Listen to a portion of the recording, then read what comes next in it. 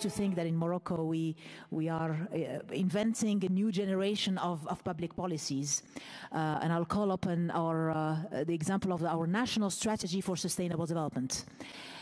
It was, it started in 20, 2017, um, where you had the first phase of our national strategy for sustainable development, but it was more of a top-down approach which didn't get the buy-in of, of the society. Even if Morocco at the time was already already progressing on, on many fronts, we had the, the zero plastic uh, ban already in place, we had the eco tax and many other things today, in the, in the review of, uh, of the National Strategy for Sustainable Development, we decided to do it differently.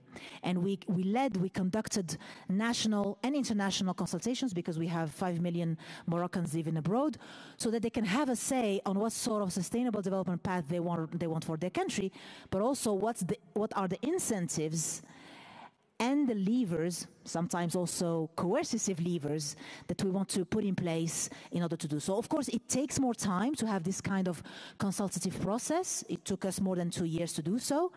But I'll definitely invite you to come and see uh, when we will hold the national consultation, the national finalization of our national strategy for sustainable development in the spring in Morocco. Thank you. Thank you.